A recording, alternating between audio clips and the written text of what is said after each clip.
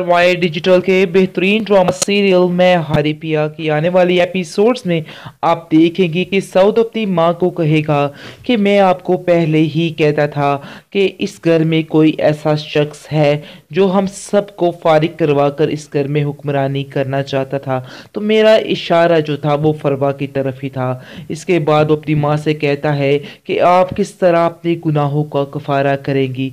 कैसे सारा भाभी से माफ़ी मांगेगी? आप तो माफ़ी मांगने के काबिल भी नहीं रही। आपको उनके साथ इस तरह का सलूक नहीं करना चाहिए था। इतने सालों में आपको उनकी पहचान भी नहीं हुई। आगे से आप देखेंगे कि उसकी माँ कहती है कि मुझे वाकई मैंने बहुत बड़ा गुनाह कर दिया है, सारा पर इस कदर इल्ज़ाम लगाकर। मैं सोच नहीं सकती कि मैं उससे आखिर माफ़ी कैसे मांगूँगी।